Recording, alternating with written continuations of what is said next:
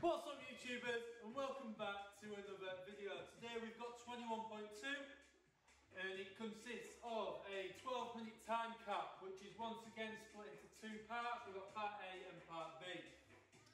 So we'll start the workout with part A which consists of dumbbell snatches and burpees with a rep scheme of 21, 15 and 9. So we perform 21 snatches into 21 burpees,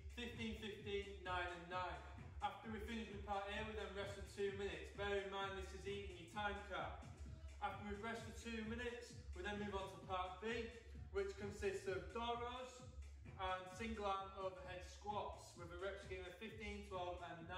So once again, we perform 15 door rows, 15 overhead squats, 12 and 12, 9 and 9.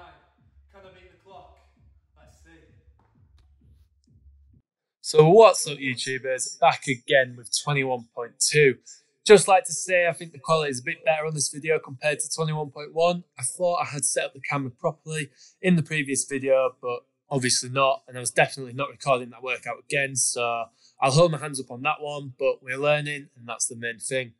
Music for this video is produced by my mate Will. It is available for down, download on SoundCloud. Uh, the link is in the description, so please do go check it out. So today we have another time cap workout. However, this time with a rest period included, which only means one thing, and that is to go all out. So into part A and working for our first set of snatches. A compound move that works the full body and strengthens the glutes, hamstrings, lats, and shoulders, whilst increasing our explosiveness and agility. Each rep will build our shoulders, posterior chain, and core muscles as the dumbbell is lifted from the ground to overhead, making sure that the dumbbell touches the ground before we reach full extension. We then move on to burpees, a movement which is feared by most people. However, I quite like them. I think they're a great conditioning piece to add into a workout to increase the heart rate. They also have many health benefits, such as improving our body awareness, um, and cardiovascular endurance. Not to mention they work a range of muscles as well. So, what's not to like? Anyway, I'll be quiet for now. Enjoy the rest of part A.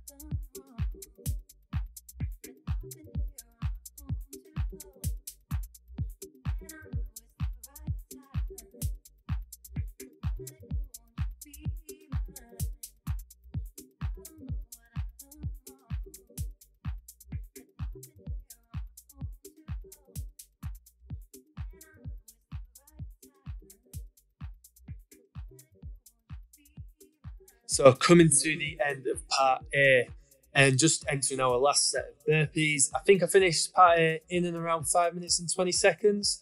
Um, overall, snatches and burpees were smooth. However, the burpees did slow down a little bit as the workout went on. As you can see right now, definitely not as quick as the first set of 21, but that's expected when you mix them with any movement. So before going into part B, we rest for two minutes and we want to focus on bringing our breathing and heart rate back down to a much more normal status as much as we can. After resting for two minutes, we head into part B to complete the workout. Unfortunately, I don't have a pull up bar, so I had to scale the workout to ring rows, which does have similar elements to a pull up. It is a movement for good technique as we focus on rotating the rings inwards and squeezing the back muscles as we reach the top of each rep.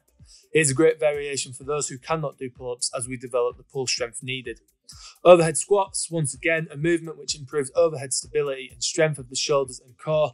It also helps to improve the mobility of the hips and ankles, which will help when we perform movements such as squat snatches when we need to get under the bar. Overall, I finished the workout in 10 minutes and 7 seconds, so I beat the time cap. If you have enjoyed this video, please leave a like and don't forget to hit that subscribe button. See you for 21.3. Stay safe.